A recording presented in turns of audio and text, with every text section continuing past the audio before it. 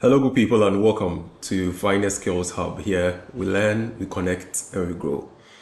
In this short video, we are going to learn how to build a progress chart to compare our actual and budget numbers. So, first, we understand the concept in Excel and how to create it in Excel, then apply it to a Power BI report. Then we also explore the new card visual in Power BI and how we can use it to create dynamic annotations so that if we don't achieve our budget, we have a red, and then if we achieve or overachieve, we have a green. So there are a lot of good things in here. Join me in Excel and Power BI, and let's go through this together. Okay, so let's begin by exploring our final work. This is a Power BI report. It's comparing the revenue, cost, profit, and profit margin for our branches. Now, the focus here is in terms of profitability, we want to see if the branches met their budget or not. So I have realized and unrealized here. So if I select a particular branch, okay, and they met their target, it tells me how much they've realized. And if they've not, these are 10 red. In a situation where they have, like the northern region, if I select that they have overachieved. So they've realized 100%. The bar is full. And even the variance, which is a positive variance, shows up here, right? So that is what we want to create. So we created this using the 100% stacked bar chart. And then we used the new card visual in Power BI to achieve this. So let's learn how we built this particular portion right from scratch. Okay, so let's start off in Excel. I have dummy data here, actual 3000 and then budget of 10,000.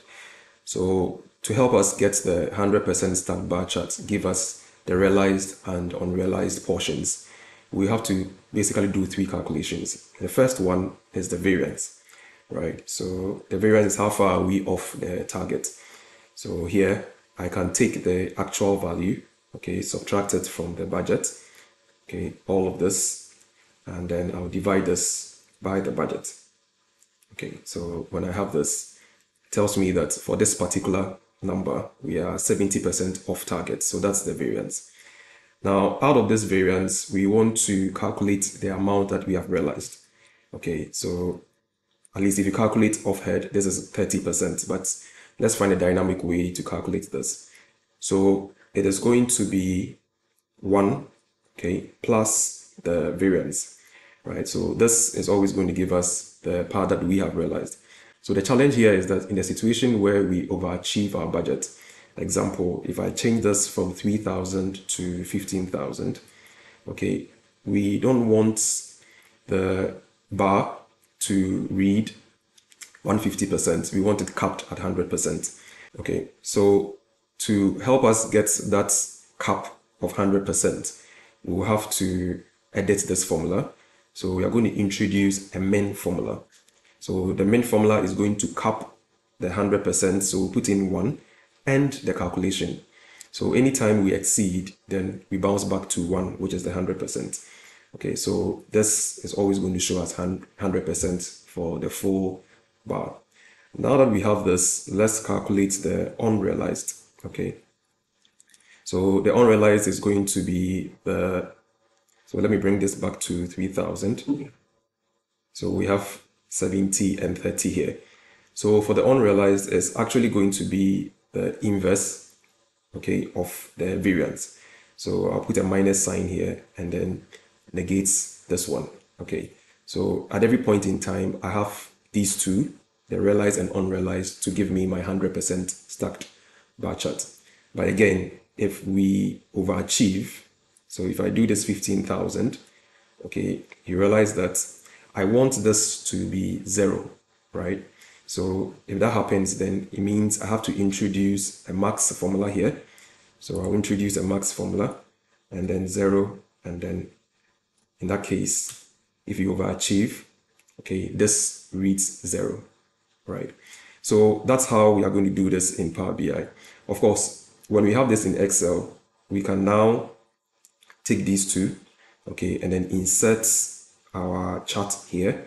So I'm going to use the 100% stacked bar chart. Okay, so if I come here,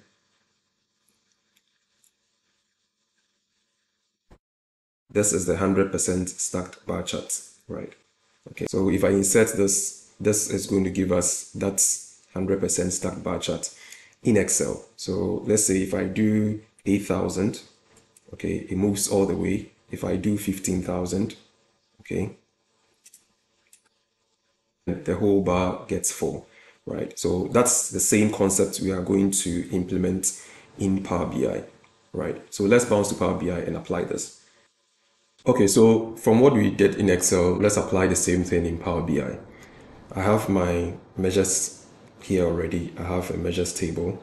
So the focus here is on the budget profit and the actual profit.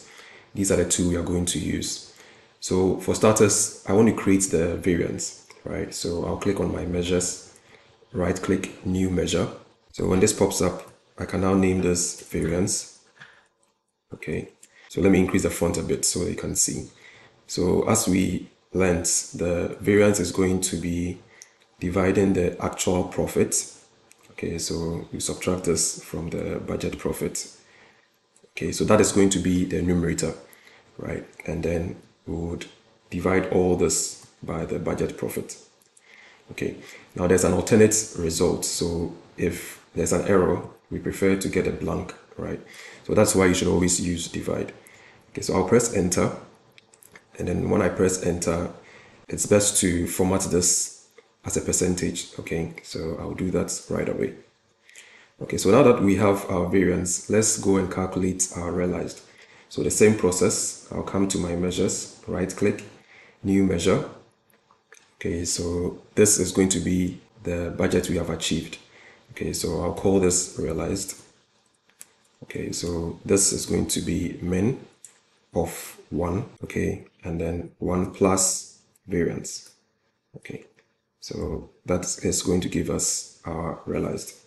Okay, so again, we'll press enter, and then once that is also through, you have to format it as a percentage as well. Okay, then finally, we'll go in and calculate the unrealized portion. So I'll come again, my measures, new measures, okay and then we'll calculate the unrealized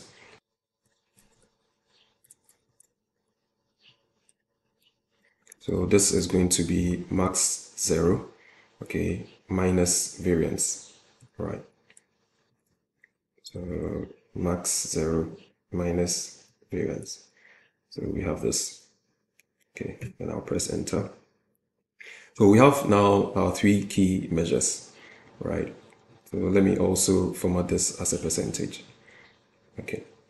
So now that we have our three measures, let's at least see them using a card. So if I select them directly, so this is going to be my realized for the branch that I have selected. So for Brong Ahafo, they have 100%.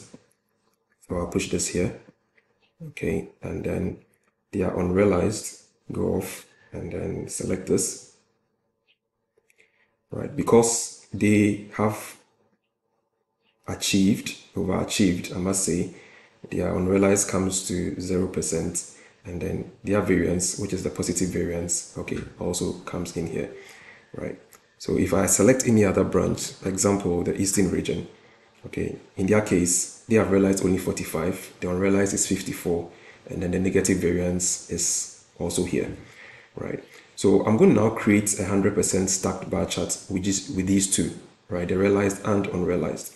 So I'll come here to my visuals and then insert 100% stacked bar chart, right? So this is my 100% stacked bar chart. So I'll just position it. It's going to occupy this whole area.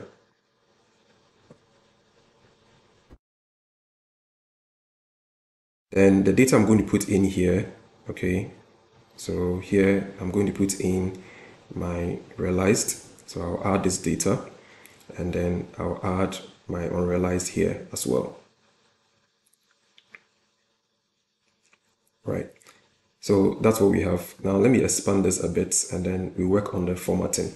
So I'll click on the format icon, come to more options here, right? So to give us more room, what we are going to do is to turn off the title, okay?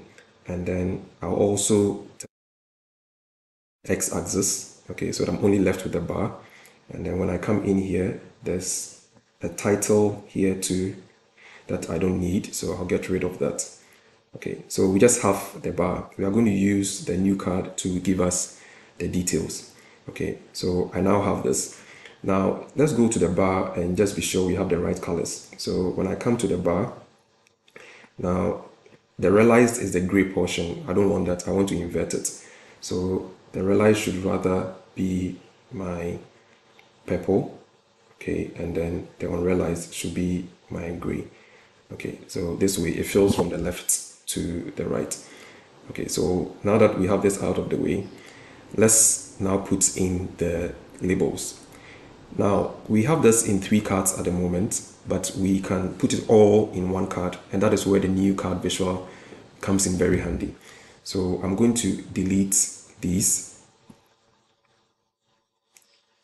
Okay, and then instead of three cards, okay, I'm going to insert the new card visual, which is here.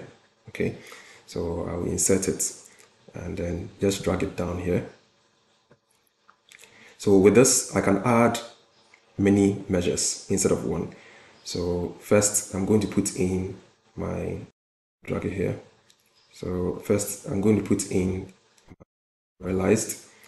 Okay, so I'll put in my realized, add my unrealized,